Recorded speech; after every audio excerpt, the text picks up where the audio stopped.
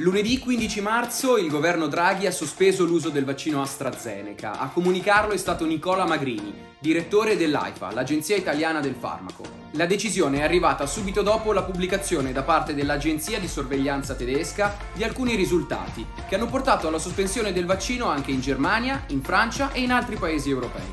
Si tratta di possibili correlazioni con casi di trombosi in soggetti a cui era da poco stato somministrato il vaccino. L'EMA ha quindi avviato una revisione dei dati che si concluderà domani 18 marzo per confermare o smentire il rischio. Le somministrazioni del vaccino AstraZeneca potrebbero riprendere subito anche in Italia, che nei giorni di sospensione ha vaccinato circa 200.000 soggetti in meno del previsto. Per rispettare il piano vaccinale comunicato dal commissario straordinario per l'emergenza Covid-19, le dosi somministrate ogni giorno dovranno essere circa mezzo milione a partire dalla metà di aprile. Riusciremo a mantenere il ritmo previsto?